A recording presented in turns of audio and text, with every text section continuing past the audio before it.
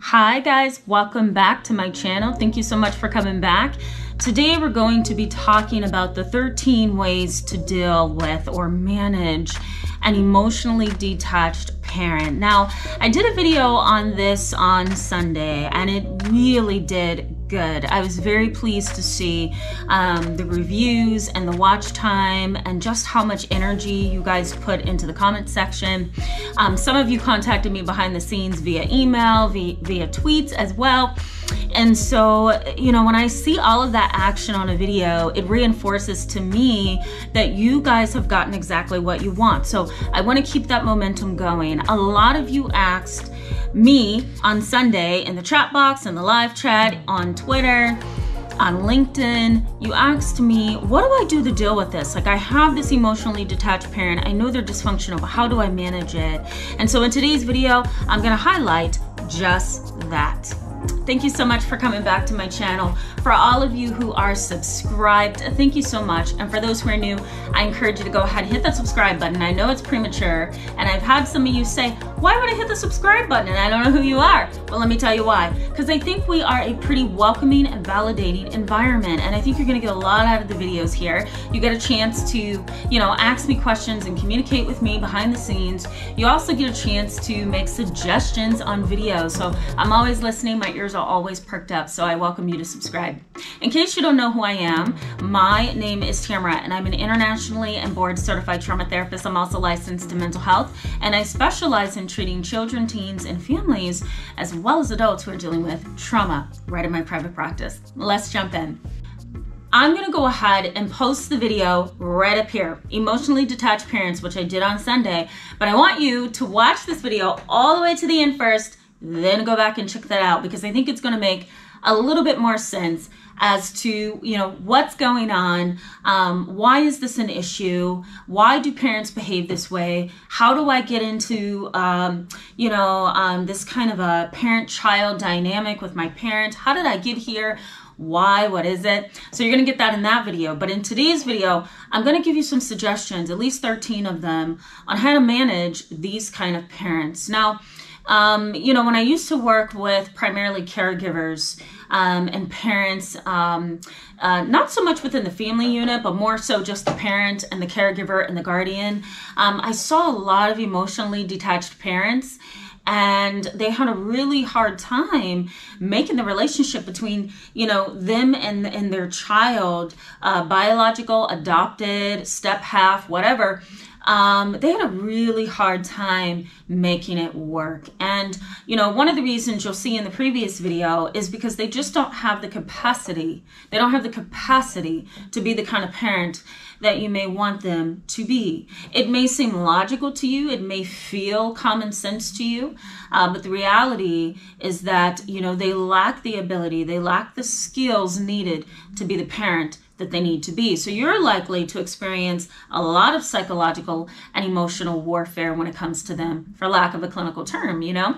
You're gonna feel battled on every level. So um, I wanna give you some tools on how to manage this. Okay, so let's just jump in. The first tool that, and this is the hardest, this is the first tool that I suggest, is to accept where you are and accept what you have. That's so, so hard, right?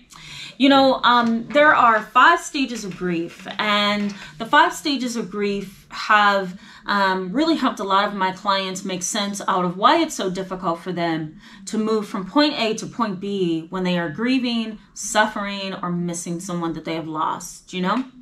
And the five stages of grief really can help you help you understand and help me explain to you um, just how difficult it can be to accept anything that you feel is a loss. And you may feel like having an emotionally detached parent is a loss, and that's okay. It is a loss. Um, so you're likely to go through the five stages. Uh, there's denial, there's anger, there's depression, there's bargaining, right? Uh, you may even bargain with God. God, if you just get them off their sick bed, I promise I'll love them better, right? That kind of bargaining. Um, or I'll donate more or go to church more if you just give me a second chance. Okay, that's bargaining. But then the fifth one is acceptance. And, you know, you may find yourself stay in denial for a couple of years. You may feel yourself be angry and depressed at the same time. You may bargain and be angry at times, right? And you may not ever accept, or you may come to a place where you do accept it, but it's going to take some time, you know? Um, so those stages can be experienced in many different ways at many different times.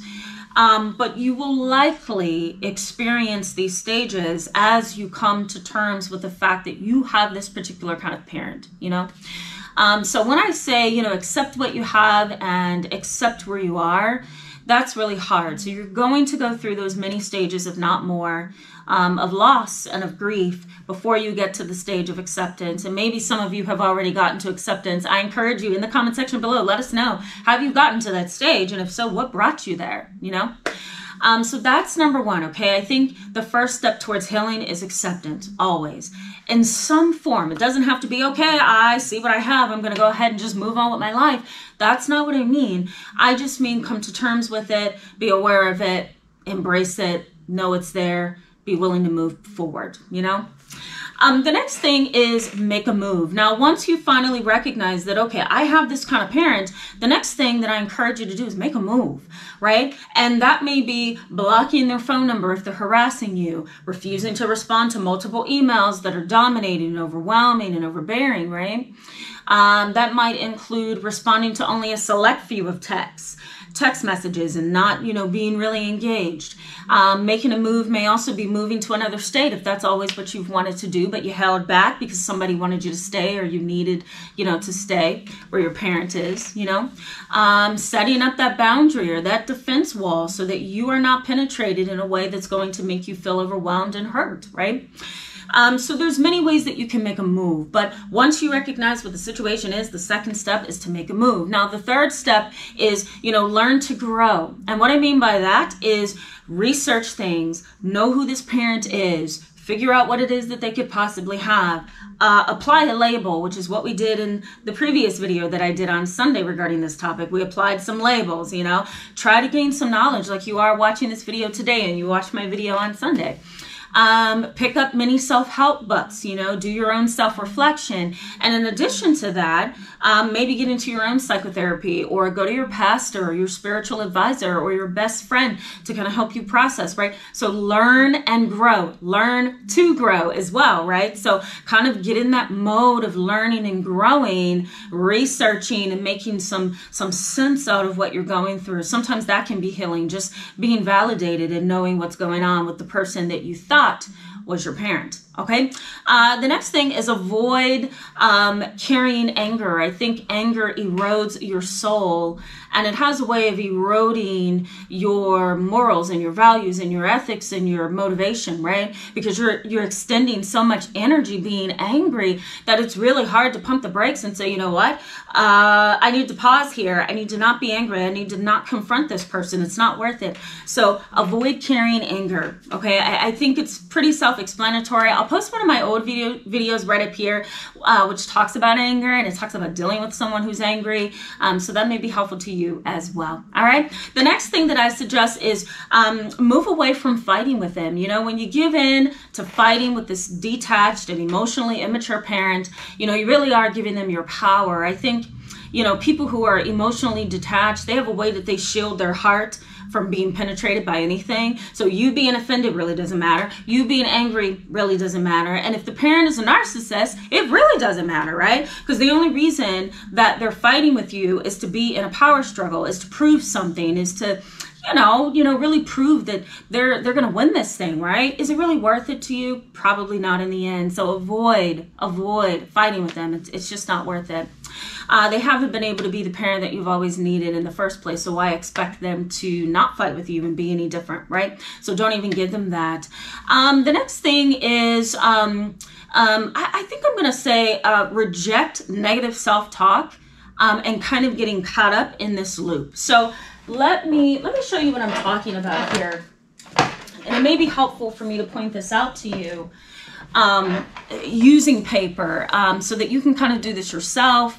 Um, and so that you can kind of see that, oh, you know, this may be something I can do on my own when I'm starting to feel overwhelmed. So here's what I want you to think about. Um, it is called the CBT triangle. That's what I call it. All right. And so CBT is known as cognitive behavior therapy. The whole idea behind that is that you take your thoughts about certain things and you examine it, right? You weigh it against reality. Is this the way that I should be looking at this situation, right? You look at how your thought influences your feelings about the situation and then influences your behavior. So when I'm in the office with clients, here's what I have them do. I have them um, and I encourage you to do it with me if you want to. I have them draw a triangle, okay? I have them write the word thoughts at, top, at the top, emotions on the left, okay? And then feelings on the right. I'm going to show you what this looks like. It's really not that deep, guys, I promise you. So here's how it looks, okay, if you can see that. And that's basically what I have my clients do. Now, here's what you want to do. You want to add all the things that you think about the situation. You also want to add how those thoughts trigger your emotions. And then, wait a minute, guys, I messed this up. And you also want to um, look at how your thoughts and feelings trigger your behavior. So let me fix this. And I'm not going to even edit this out of the video because you need to see how human I am. So here's the corrected triangle, guys. That should have been behaviors, okay? So thoughts, feelings, and behaviors, not thoughts, emotions, and feelings.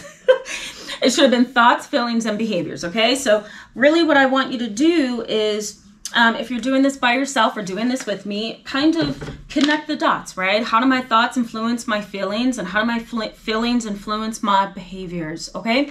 Um, so that's the thought triangle. So, you know, once you recognize, okay, I've got some negative self talk in here, I'm saying things to myself that I should not, right? I'm not good enough, I'm not smart enough, she'll never love me, he'll never love me as my dad. Um, she'll never be the mom I've ever wanted her to be, so I must not be worth love. Um, you know, um, I am a loser, like my father has told me. I don't deserve happiness, whatever it is, put it under thoughts Okay. And then what do those things that you say to yourself do to your emotions? Well, it's likely to make you feel um, less than. You're probably not going to have confidence. You're probably feeling hurt, right? Add all of that under emotions. And then, you know, how do those two things, thoughts and feelings, impact what you do? Well, let's see. Well, then you start having negative thoughts, right? You start saying things to yourself that's not positive. That's your behavior. You start isolating from people, that's another behavior. You start withdrawing, that's another behavior. You start getting negative with yourself, that's another behavior.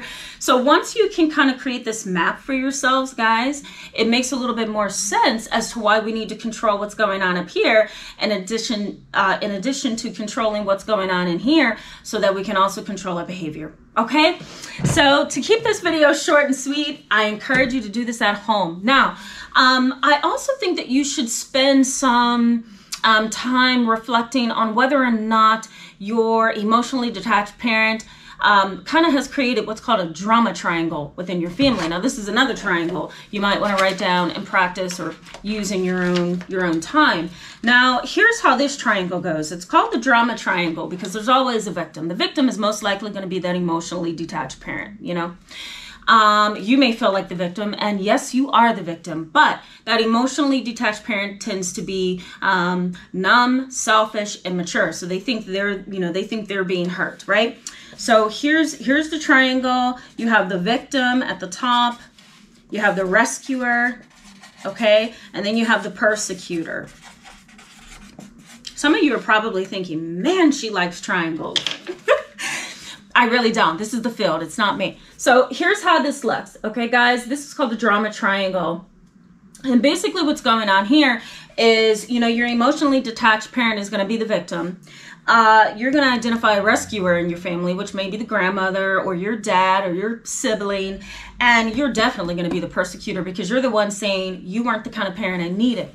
Um, so take some time to kind of move some roles around and see who's playing what role and kind of reflect upon that. All right, so that's my next suggestion. Reflect upon that. Reflect upon these triangles. The thought triangle, how do you negatively box yourself in with your thoughts and your feelings?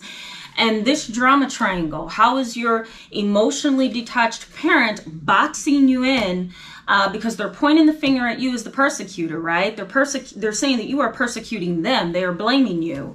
And who's the person playing the rescuer and seeming like they're doing everything right, right? So play around with those a little bit. I think that can be helpful. Now, the next thing that I suggest is spending time with yourself. I think self reflection is extraordinarily powerful. I don't think I would be the therapist that I am, or the woman that I am, or the, the loving um, um, person in my personal life that I am, um, the sister that I am, the daughter, the list goes on. If I didn't spend that time alone with myself, I have to reflect. Uh, because if I don't reflect, then I don't know what's going on in here, and I don't know what's going on in here necessarily, even though there's a ton of static up there all the time. I don't know, and I can't connect my head with my heart because I'm not reflecting. And when I don't reflect, then everything in the world kind of takes up that space, and I lose touch with me. And so, reflecting is extraordinarily important. That's something I try to get all of my clients to do, five and up because I think it's really, really important to just be with you. So spend some time with you. The next thing is make a map of where you want to be in life, right? So make a map. Here's where I want to be in the next six months. Here's where I want to be in the next uh, 12 months. Here's what I, here's where I want to be in the next two years.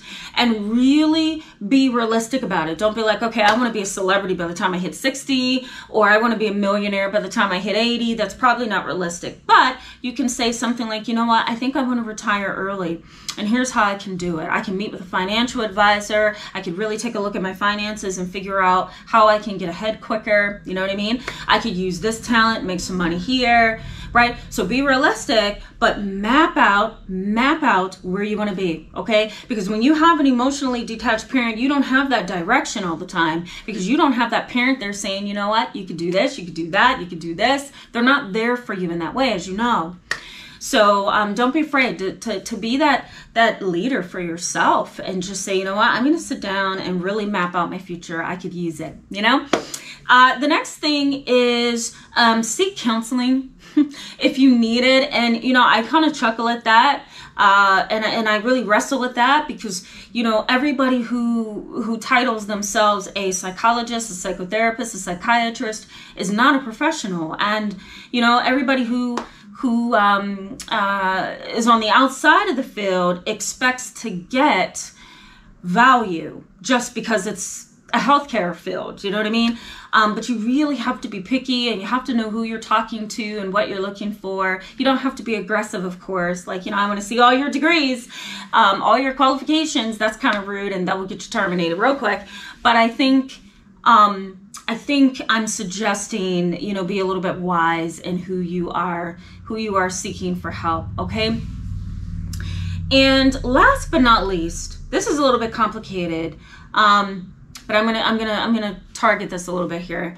Um, I think you should find some way to unlearn, unlearn the social reinforcement that you have been under because of that parent. So I'm to unravel that a little bit.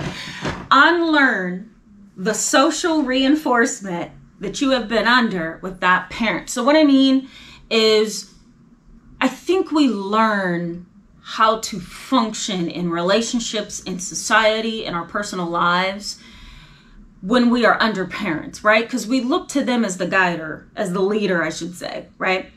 And so we've kind of learned how to react to the world, react to others, um, how to maneuver relationships, how to engage in them. We've learned all of that from our parents. And so, if you have an emotionally detached and unhealthy and immature parent, you most likely have learned some things that you probably should unravel and unlearn. So, unlearn those things that you have learned or that have been reinforced by your unhealthy parent so that you can move ahead. That's the most important thing. And I think the first step in doing that again is going back through all these tips, trying all of those things, and then going into your own psychotherapy to heal yourself. These are a lot of, of, of different ways that you can kind of manage where you're at. I hope they are helpful. This video is long, I know, but I wanted to make sure that you had comprehensive information. Thank you so much for being with me today in this video, guys. I encourage you to give it a thumbs up if it was helpful and go ahead and hit that subscribe button so you can stick around with us. I'm gonna come back with the next few videos. We're going to kind of, we're gonna kind of move over a little bit and not talk about detached uh, and immature parents. We're going to move into something else because there's a couple of requests that I've had on this channel. So uh, stay tuned for the next videos. I'll see you soon. Bye.